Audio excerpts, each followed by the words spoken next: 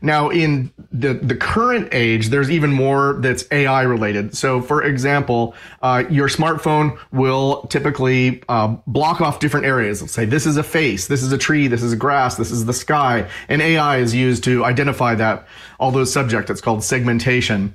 And it will process the photo differently as a result. For example, a Google Pixel phone has a completely different imaging processing pipeline for whether there are people in it or whether it's more, uh, you know, a, a landscape or architecture photo, something without people in it. So there's a lot of processing, and AI is a big part of that. Uh, that's not generative AI. That's just using AI algorithms to um, produce what is arguably a, a, more faithful representation of the scene that your eye actually saw. So there, like I say, there's angst about whether there's too much photo processing going on. But believe me, you would hate the photos that came out of your smartphone if there were no processing going on.